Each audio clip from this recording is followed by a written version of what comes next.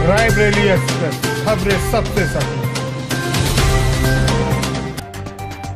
रायबरेली से इस वक्त की बड़ी खबर सामने आ रही है। जिला प्रशासन की बड़ी कार्रवाई देखने को मिली।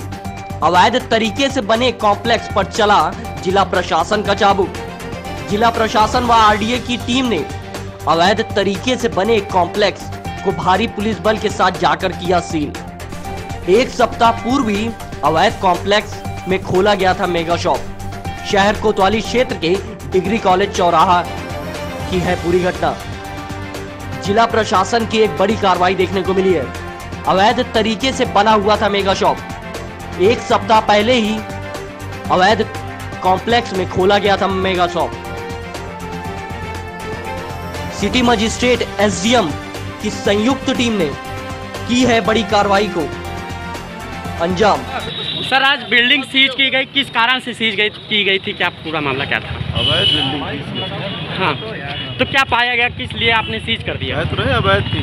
अवैध थी। सर अभी बगल में ही आरोप लगाया गया है जो बगल की बिल्डिंग है उसे गिराने के आदेश है अभी तक उस पर दिखवाएँगे। सर कब तक दिखवाएँगे? जब ये बिल्डिंग बन रही थी तब आपका आइडिया कहाँ था?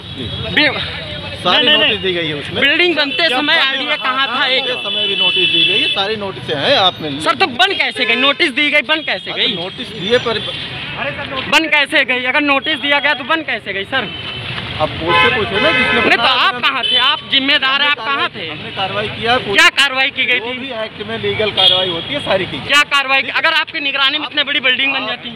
नहीं बिल्डिंग बन गई। उसके बाद आप पास सीज कर रहे भी एक्ट में लीगल कार्रवाई की जाती है सब की नहीं तो बिल्डिंग सर एक जवाब ये बिल्डिंग बंद कैसे गई? आपके ऑफ़िस के बगल इतनी बड़ी बिल्डिंग बंद कैसे गई?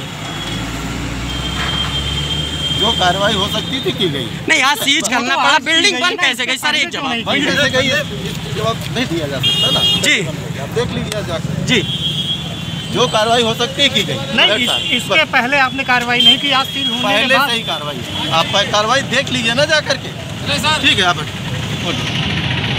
ठीक है